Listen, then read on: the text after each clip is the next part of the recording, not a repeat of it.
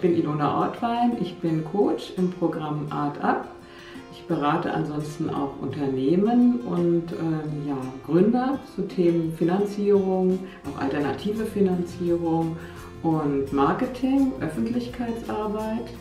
Das ist meiner Meinung nach auch ein Schwerpunkt für die, äh, für die Künstler. Ich glaube, die haben häufig Defizite, was ihre Finanzierung anbelangt, aber auch was ihr überhaupt das Denken anbelangt, ein, also ihre Kunst als Unternehmen zu sehen, als Entrepreneur.